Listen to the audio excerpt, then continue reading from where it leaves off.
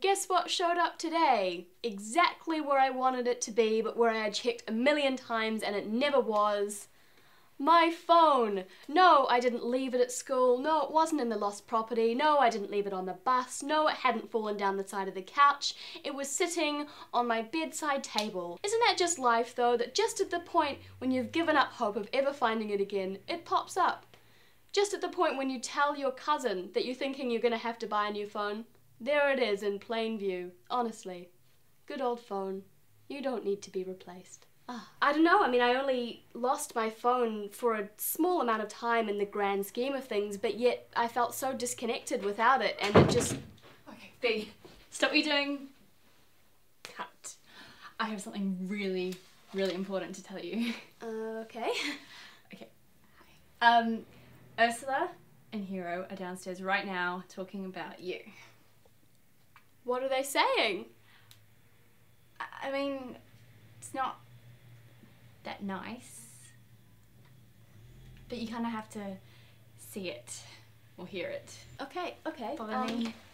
Alright, I will disconnect. And I am following you. Okay, come on.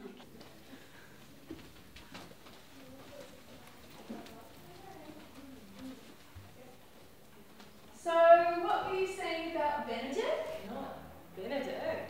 You must have heard wrong. No, no. I assure you, I heard it from Claude and Pedro, and they know him better than anybody. I know, it's. Wait, what's going on?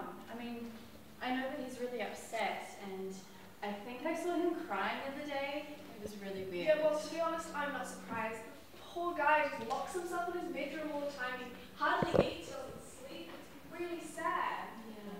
The poetry he's been writing. Poetry. So terrible. Okay, well, no, but you can hardly blame him. I mean, Benedick is in love with Beatrice. What? Yeah. Wow, I. Wow. What? That's.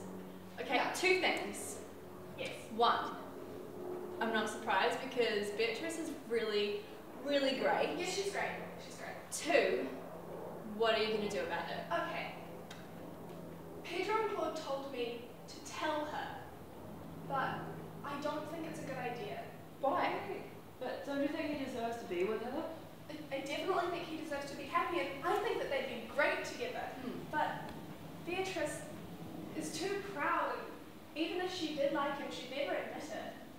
You know, I honestly think that she's too busy being in love with herself to, um, she's too busy being in love with herself to have an eye for anyone else. And I mean, I'm pretty sure she gave herself a card on Valentine's Day last year. That was a joke. It's not funny. Okay, no, yeah, you're right.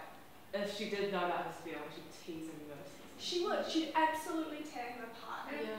I don't think he'd be able to handle it. I mean, she picks flaws in every single decent guy out there. Like, if we see a hot guy, she'll find something wrong with him. If he's pretty, he must be gay. If he's tall, he's a gangly giraffe. If he's short, he's a garden gnome.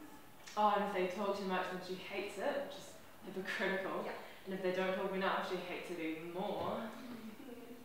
But she is really amazing. So the guy that she needs to be with should be the same as her, Yeah, which I I think is Benedick. Yeah, definitely. Yeah, yeah. Benedick is amazing, and I'm, I'm sure you guys will agree with me on this that he's like, without a doubt, pretty much the hottest guy at our school. Yeah. Yes. Yeah. Yes. Oh, of, of course, apart from Claudio. Oh, Yeah, yeah. and Robbie. Mm. Mm.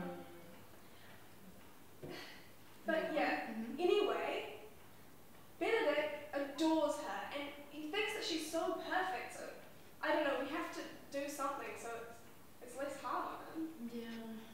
But what? I don't know, I suppose we could tell him a whole lot of really embarrassing things about her so he No. sees some of her flaws. No, that's you. You couldn't do that to her. Well, I can't tell him that.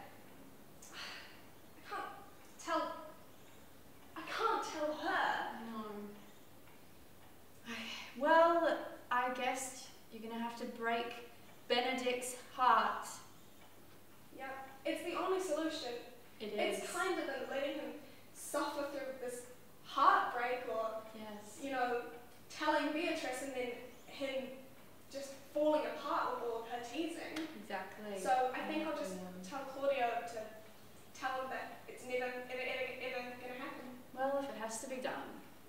I'm actually quite thirsty. Um, yeah. Yeah, do you want to head into the kitchen, get a drink maybe? Going, yes, into yeah. the kitchen. Oh, is, this, a bird?